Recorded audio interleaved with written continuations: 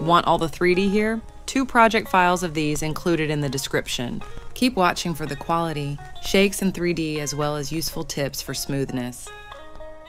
Here is me showing my gloss settings plus coloring. I use a separate one for 3D. I also don't use the same coloring for every 3D edit I make as my edits would look trash since it is based on the avatar and many other factors.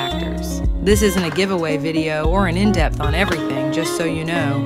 As I have over 10 glosses and so much 3D for some, it would take hours to explain every detail.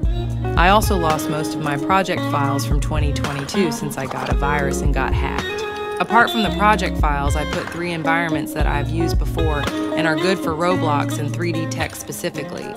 Please note I had around 20 environments I've used for Element 3D since 2021. Also to make these really good 3D quality edits, it takes hours, so even with the tutorial, since there are like 10 steps per edit plus rendering, rewatching the edit to look for choppiness, plugin effects, especially Sapphire, BCC, and Twixtor also rotobrush crashing your After Effects. Particles will be the next step after the quality of 3D here. I won't give the numbers of the magic bullet looks as I am too lazy to open it, and they aren't a big part of quality. They mostly just make your 3D more bright and pop out more.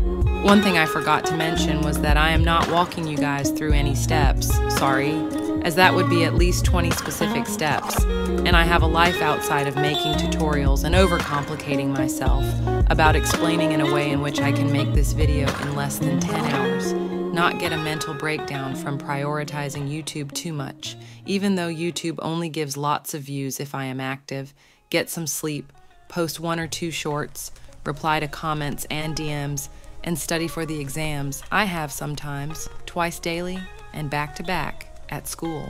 Now, tips for smoothness keyframe placement plus graphs, and keyframes with nulls overlapping. Good example of keyframing here because it is less than a quarter of a second and looks smooth, since humans can't analyze stuff in milliseconds.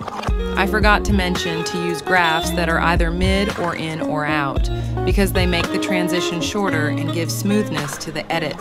For velocity, if you use Twixtor, don't do graphs by the way, since it is just speed and placement, it'll do separate tutorial if this blows up. Bad example of a transition, shake, blur, you know, because it is a slow effect transition.